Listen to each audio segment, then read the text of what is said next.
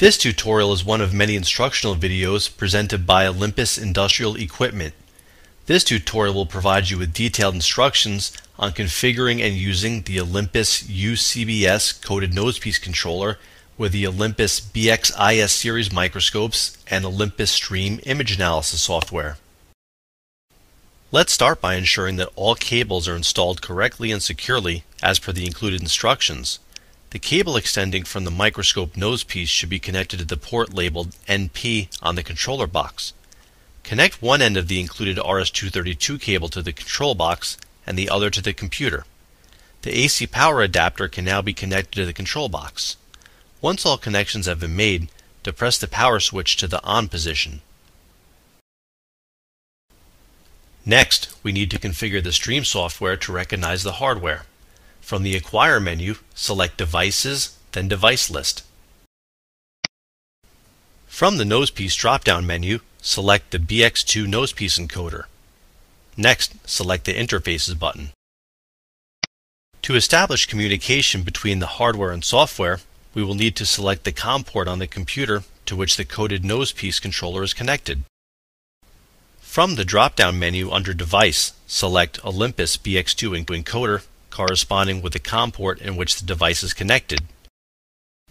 Use the default COM port settings, then click OK. Click the OK button to exit the device list and retain your settings. We can now define which objectives are threaded to the nosepiece. From the Acquire menu, select Devices, then Device Settings. Select the magnification and objective type that corresponds with each position on the nosepiece.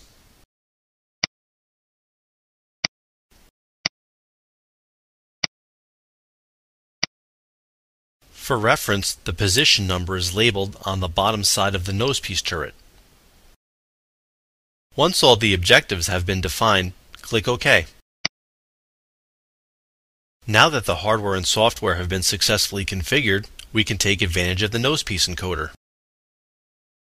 When the operator changes objective lenses on the nosepiece, the change is automatically detected in the stream software.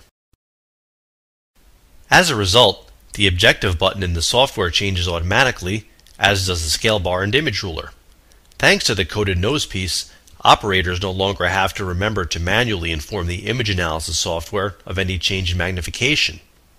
Because this change is detected automatically by the software, the system ensures the highest level of measurement accuracy. In this instructional video, we have covered configuring and using the Olympus UCBS coded nosepiece controller with Olympus Stream image analysis software and BXIS series microscopes. We hope this video has been beneficial and we invite you to contact us directly with any questions.